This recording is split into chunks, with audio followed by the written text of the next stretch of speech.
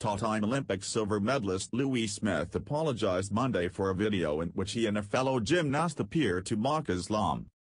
Smith and Luke Carson are shown in a leaked video laughing and pretending to pray while shouting Allahu Akbar, or Arabic for God is greatest. I am deeply sorry for the recent video you may have seen, the 27-year-old Smith said in a statement posted on Twitter.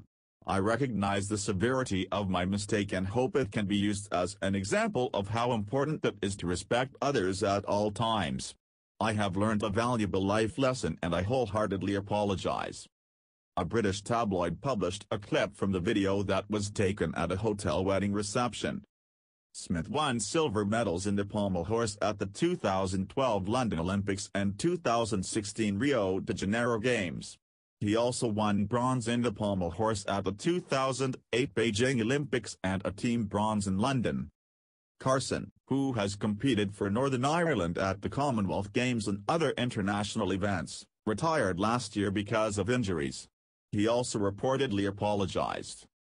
Britain's National Gymnastics Federation said it would investigate the incident, with Smith and Carson both facing possible sanctions.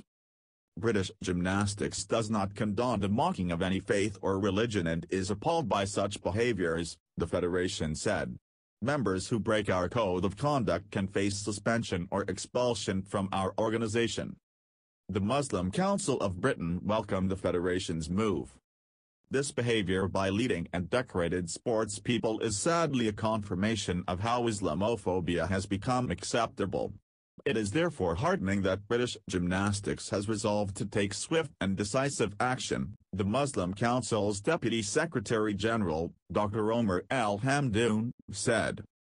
The supposed apology that has been issued by the two men falls well short of addressing the hurt caused against Muslims, he added.